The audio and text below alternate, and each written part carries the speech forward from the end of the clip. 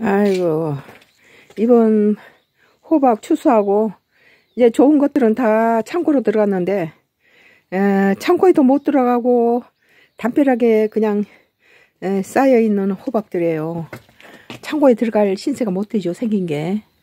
어, 아주 이런 것들이 창고행은 못 되고 그냥 그냥 마당에 그냥 아무렇게나 쌓여있는 이 호박들은 어, 음, 옛날에 서울서 이거 어, 호박죽이 먹고 싶어서 어, 신세계 백화점 강남 신세계 백화점 지하 어, 식품부에서 3만원 3만 5천을 주고 산 것 같아요.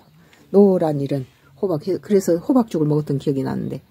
아 이런 것들은 이제 예, 창고에 들인 건 잘생긴 놈 다 창고에다 넣고 어, 이제 아, 창고에서 이제 어, 못 들어간 놈은 이제 여기 이렇게 있어요.